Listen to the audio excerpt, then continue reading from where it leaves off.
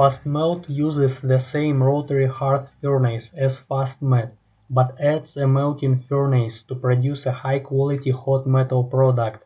As with FastMet, the feed materials are steel mill byproducts, and carbon contained in the feed or added as coal, charcoal, or other carbon-bearing solid is used as the reductant.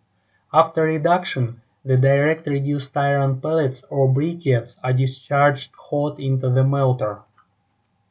Product. The product from FastMelt is blast furnace grade hot metal. The product quality can be tailored to meet a desired specification by controlling the direct reduced iron chemistry. The most energy efficient use is to feed the molten hot metal directly into an electric arc furnace or basic oxygen furnace for producing steel. Alternatively, it can be cast into pigs or granulated for sale or later use.